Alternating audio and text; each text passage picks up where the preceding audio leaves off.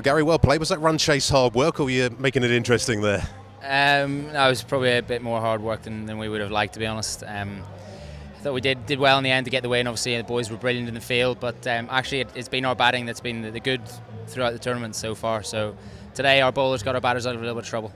Yeah, Somerset rocketed away, didn't they, in the power play? But your spinners dragged it back really well. They did, yeah. I think, I guess that might have been a, a slight plan of Somerset's to go hard in the first six overs, um, and then because they knew our, our, spinners would, would perhaps drag it back for us after that. So um, yeah, they did. Look, they always do a good job for us, so it's great today as well. And I think a lot of captains might look at you with a little bit of envy. You have so many bowling options at your disposal.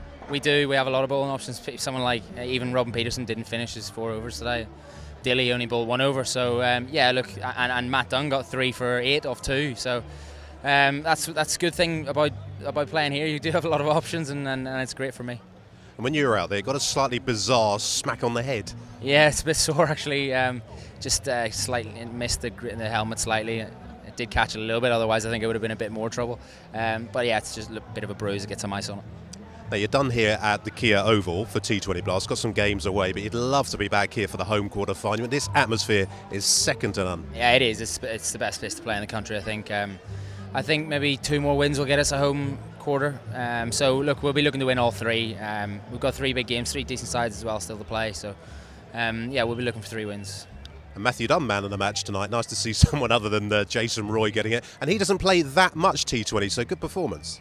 Yeah, he doesn't. He hasn't been in every side this year. Um, he's actually only played probably the last three. Um, but he does a great job. And one thing about Dunny is he always runs in, no matter when. You, I'm always asking him, Dunny, are you ready? And he's, I'm, I'm always ready. So um, that's that's great for us that you have to have someone like him always wanting the bowl. And he might end up a little bit shorter at the end of the season, having bowled him into the ground. But um, he's done a great job for us.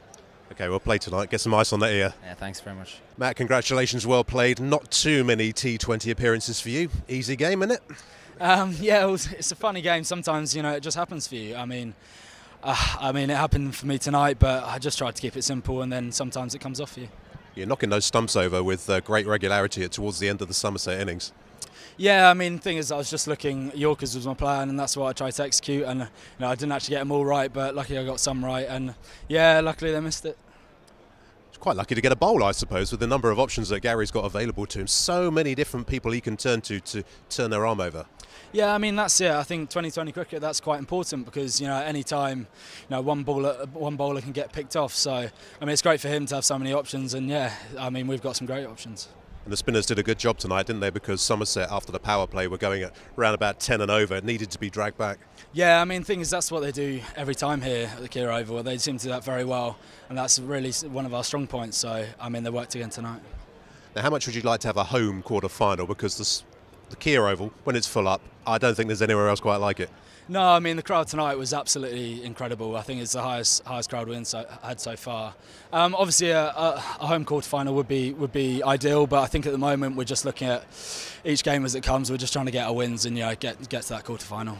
And for you personally, going to go back and uh, do a bit of four day, four day cricket now?